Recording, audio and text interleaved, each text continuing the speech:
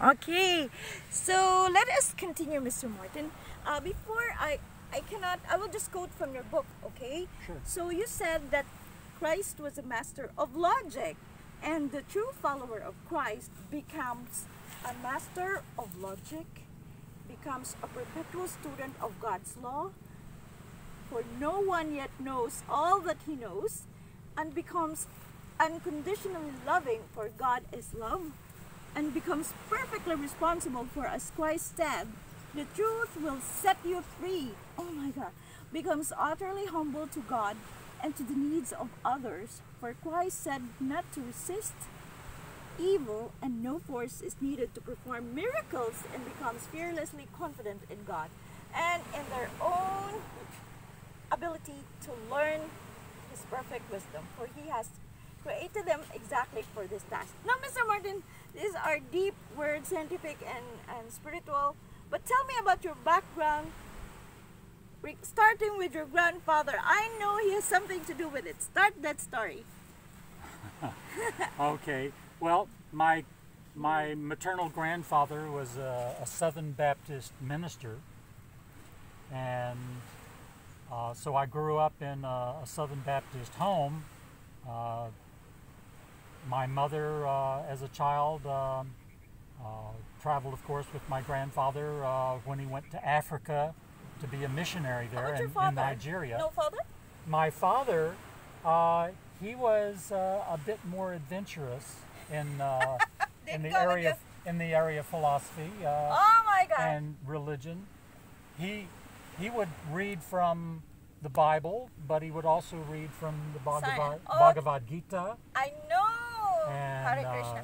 Buddhist Oh, Mr. uh, Martin. writing and, and Mr. other, other I know you have a lot of stories to tell. Sorry to cut you off, but you mentioned about Nigeria. I have a lot of Christian friends in Nigeria.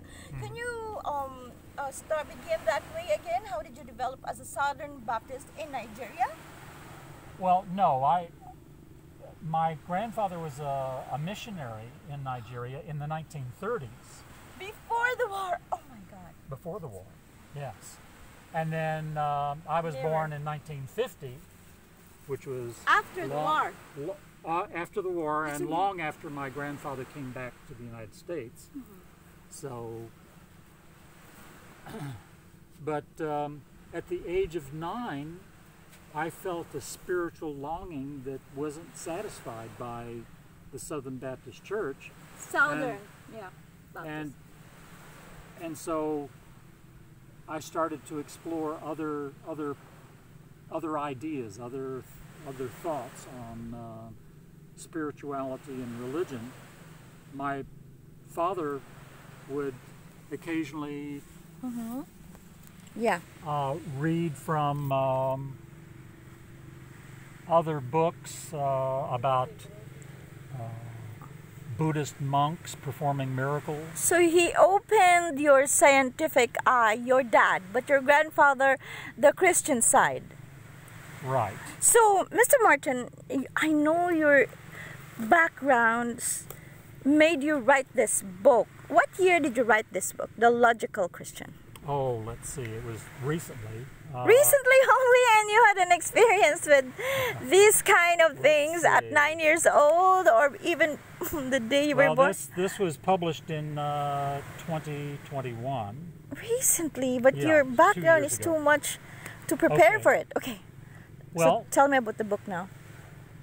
well, a little bit more about my background first. The Ah, okay, we um, didn't finish. yeah.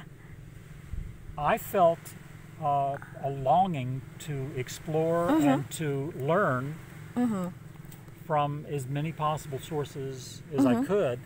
Yeah. And um, during my teenage years until I was in my mid 30s, I was studying Scientology. Is it? Which so you was- were never you were never married. Only Juvie is your wife, or Uh, I was married twice before. before Juvie? Yes. And you are busy with these things while you are married. Yes. yeah. Well, now Scientology is, is a religion Yeah. um, with um, you can take your camera. Huh? You can use your camera. Yeah, that I'm one. gonna- Okay. And then But uh, after, after uh, the mid 80s, I switched to studying Buddhism. Influenced by your father. Well, partly, yes, and and partly because I was interested in learning more about uh, that great spiritual leader and why did he Who? Siddhartha, uh, Saddam? No, that's another episode. Siddhartha, no, Gautama Siddhartha Buddha. Oh, that's not Hare Krishna. That's No, that's that's Buddhism. That's Buddhism. Siddhartha Gautama Buddha. Yeah. Yes, he was Uh, he was a prince, and he was prince. destined to be king of uh, a small kingdom in northern India, and he gave it all up.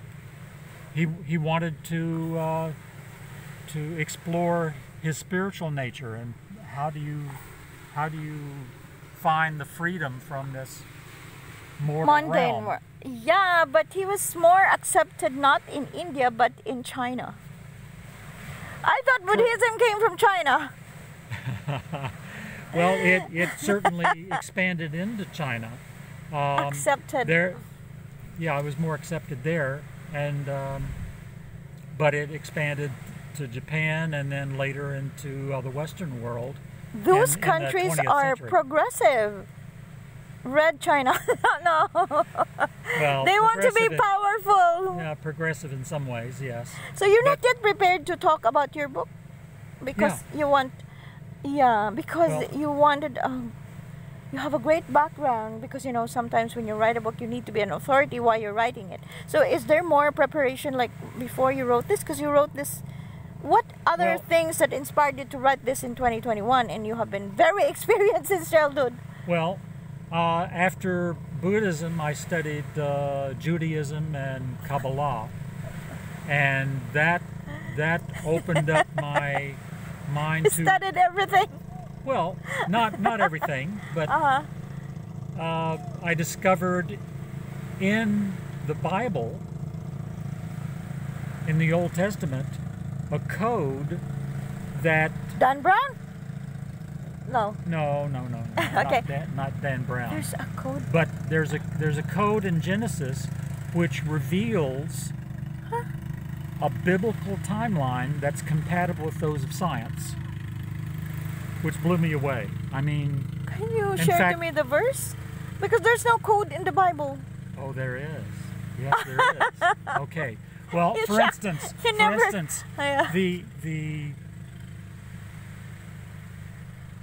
the patriarchs in Genesis five all lived to outrageously long numbers of years. Um, The Abraham thing? no, this is before Abraham. This was uh, Genesis is this Abraham i- this was Adam, and Eve.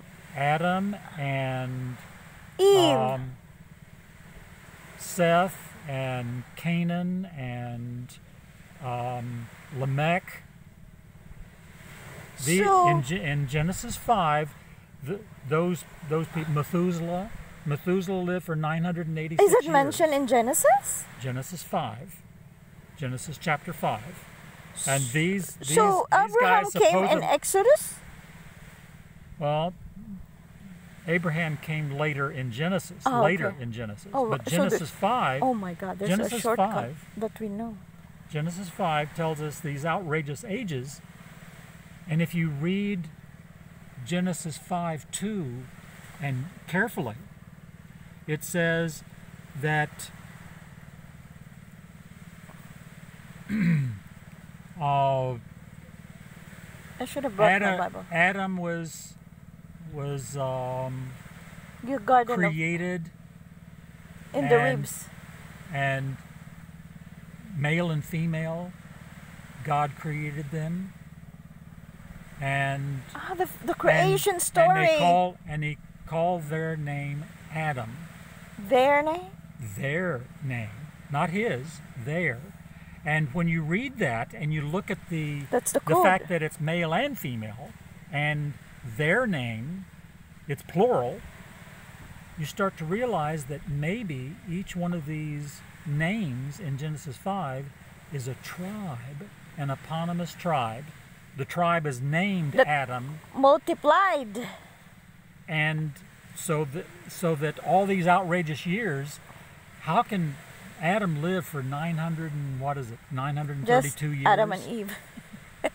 and Methuselah 986 and Lamech 777 years. Well, that's a, that's part of the code. And the code is that these were tribes Created first. That that lived one after the other, overlapping in, in their their lifespans. But we know from science Yeah. that man lived for at least 200,000 years.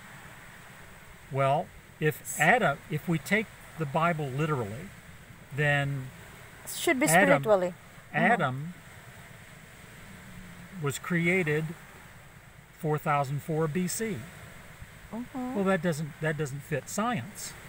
Science says 200,000 BC. We exist already. Yeah, 200,000 BC.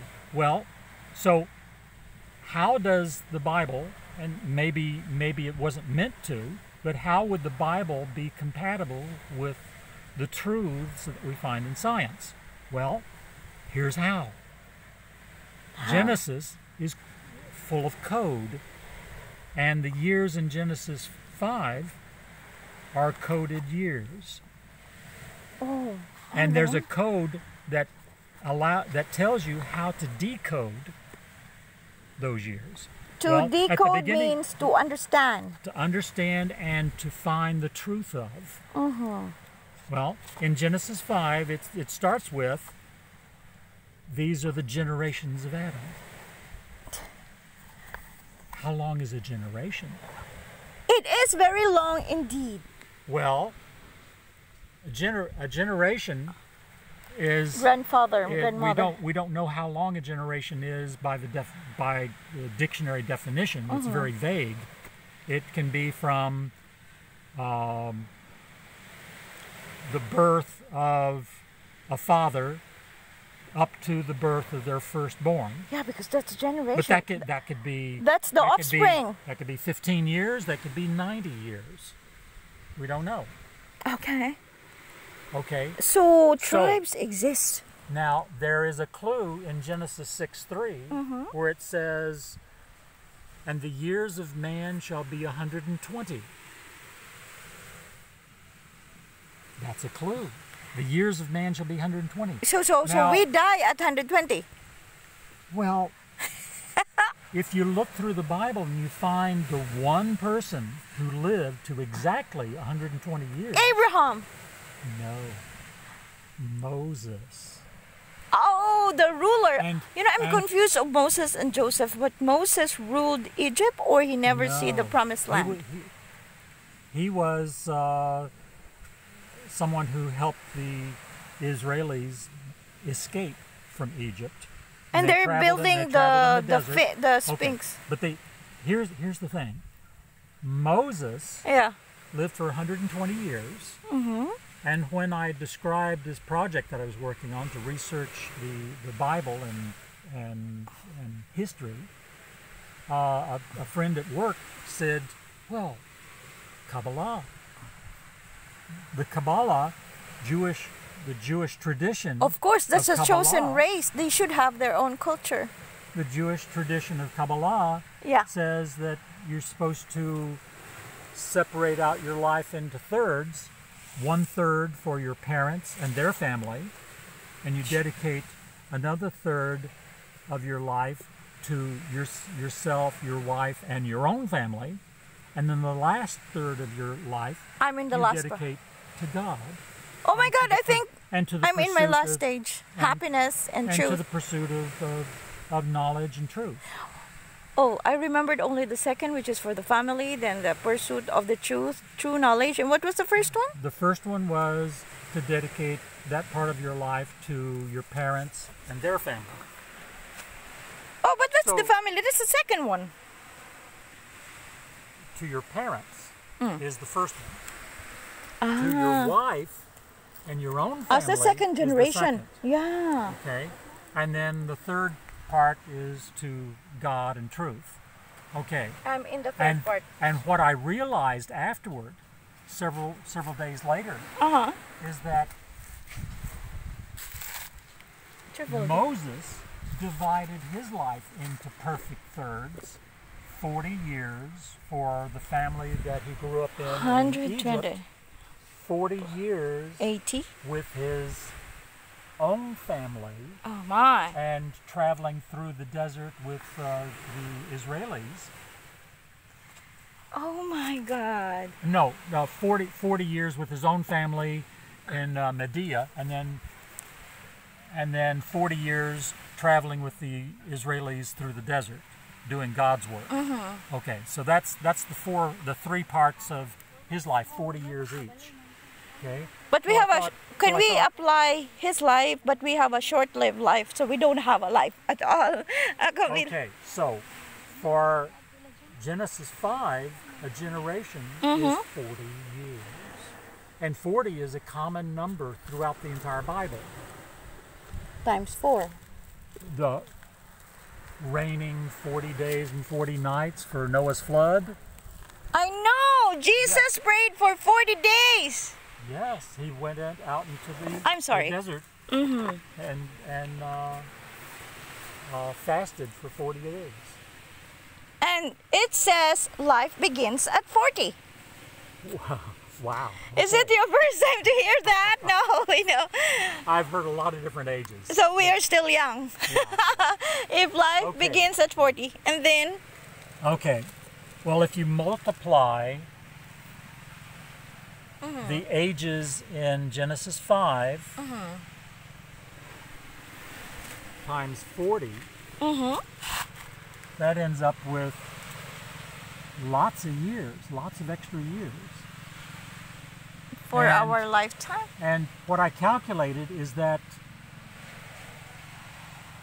going from Moses back to Noah, Noah's flood happened 27,930 BC. Wow. Now, if you took the Bible literally, that mm-hmm. would be 2,346 BC. Picture, pic, picture, but picture there were too many people, in the, too many people in the world at that time. So Noah's flood couldn't have happened then. So, are you aware of the 144,000 in the last in the Revelation? Uh, I, yes, that's a different topic. I, I'm aware of it, but what I found is that there's evidence Mm-hmm. That Noah's flood actually did happen Of course. 28,000 BC. Yeah. There's actual physical evidence. In fact, one species went extinct at that time, Uh huh. and that was, according to my research, the target of the flood. The To- flood targeted one specific species. Is it a God directed, the flood, or nature directed? Or it has to happen to kill people and to start a new generation? Or what is that flood for? The flood, Noah's flood, was an act of love. And To save humanity. to save God's children. Mm. And if you read Genesis 1, it says that God created man in his own image. And God You can video now from there. and God is not Homo sapiens. Homo sapien is human. God is not human. He's spirit. Also, So the, well, the, we- the latest principle is. God the Father, Son, and the Holy Spirit. So we are not three in one. That's that's Doctrine. A, that's uh, false doctrine. Oh my God! So in your book, in your book, Mr. Martin, going back to the book before, we talk about a lot of things. Logically, when we speak of God, it's not the saving power of God through Jesus. It is the God in the olden days in the order. What does this mean? I thought this will make you become closer to Jesus. That what we talk about always. Uh, That's what your okay. grandfather always talk about, and you said something is missing. Something is So, missing, what is definitely. this book all about? Well, part of the book describes the, this research that I did in Genesis, and the the, Ah. the target of the flood Mhm. was a species that was destroying man's chances at spiritual enlightenment. Oh, of course they're not aware. They were just created. They don't have the intelligence because there's a tree of knowledge of evil and good. So they are deprived to. It's another topic. Oh my god. Okay. So we're Alright. getting there. Okay. now, what what I realized is that the the numbers did not quite add up. I I got to the flood, and that seemed to match, but getting to Adam, that fell short by a hundred thousand years. And I thought, well, what am I missing? What is Several weeks later, I figured it out. What is it? In We Genesis video, four, be- video. Ah, picture na lang, Ben. And then, In with Ge- Juvie. in Genesis four, Uh-huh. I found my clue. With Juvie. Uh-huh. What is it? From Genesis 1, Genesis you 4. completed, and then you started with Genesis 5, but you just discovered what it is in Genesis 4 after knowing Genesis 5 always.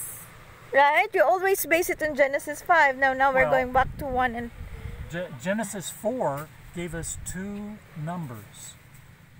code, you mean? That that's code. Yeah. Yes. Cain killed Abel.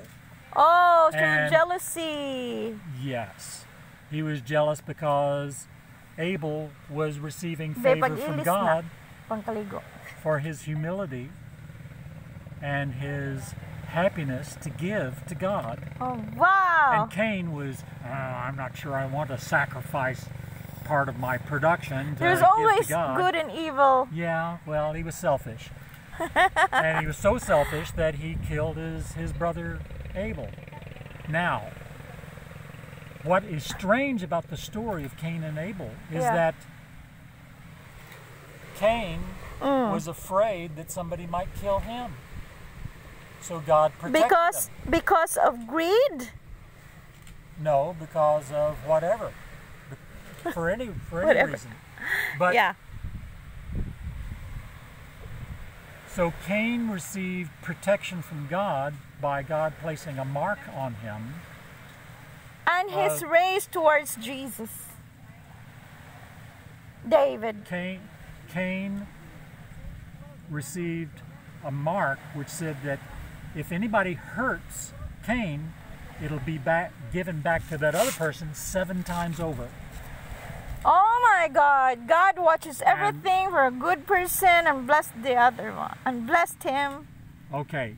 And later, I think five or six generations later, Lamech, great, Ah, great, yeah, great, great, Seth, great, Lamech. great grandson of Methuselah. Cain. Uh, no, Yeah. that's that's a different lineage. That's yeah, this Genesis is, 5. This is Cain's. Lineage. We There's a don't- Lamech who is a great, great, great, great, great grandson of Cain, Mhm. who happened to kill two men and begged God, please protect me. If if God can protect Cain seven times over, then Why any- not you? Anybody who happens to hurt me should 70 get it times. 77 times. Oh my God. He will uh, be Avenge. vengeful for you. Aven- Venge. Well, okay. Now, we have to realize that the Mhm. Bible is in code. There's wisdom there. And it's it's difficult for people to understand spiritual concepts, so it has to be written in code to make to force the person to think more Oh my. God, I'm ready to think now. Uh, nowadays. Okay. Okay, Mr. Martin. needs to think more more Uh-huh. deeply. And what I realized is that those codes apply to Genesis 5. I will read that and think. So, Mr. Martin, because we have a very lengthy discussion about it, it's almost 30 minutes. Can you tell them why they should avail of this book? Okay, well this this talks about not only the logic that Christ Oh. displayed when when his enemies tried to trap him, Uh huh.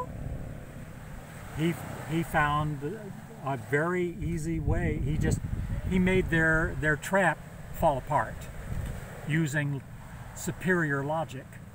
For instance, Dying on the cross? for instance, there's one point in the Bible where his enemies try to trick him, try to trap him Uh huh.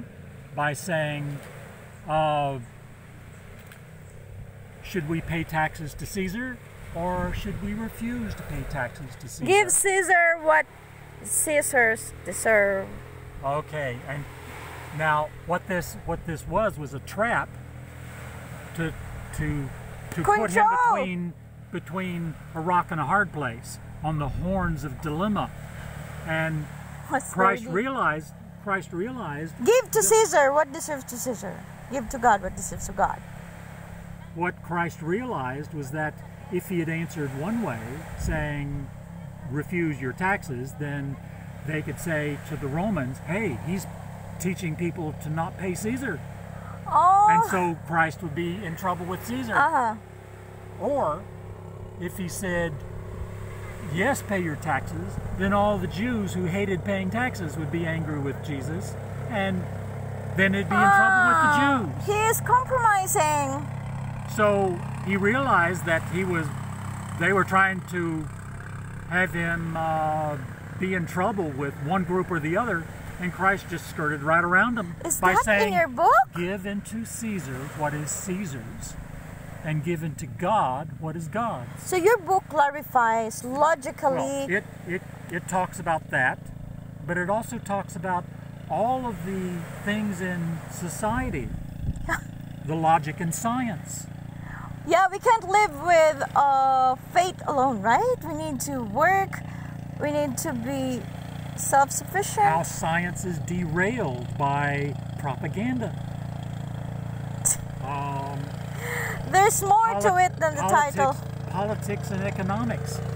How logic can help you understand the craziness that's going on in the world today. So I think I will really avail of that book with a good price, Mr. Martin. Okay, so thank you so much for guesting. Can you show? My and this is just one of the hard copies of his 36 books that makes you really think twice how we should exist intellectually and spiritually and emotionally, correct? That's what your aim. Thank you so much, Mr. Martin. It's really an honor to meet your wife first. And then that's his lovely wife for 16 years, 17 years. 16 years. 16 years and we've been friends you participated in my project like several years ago and then i came back so i mm-hmm. think i'm in my third 40 years now or something and i will deal with the book so that i would know perfectly that i exist for a reason. I would know logically why and do something about it okay? So um, i think the book will help me entitled the logical christian. Bye for now mr martin. Thank thank you. you so much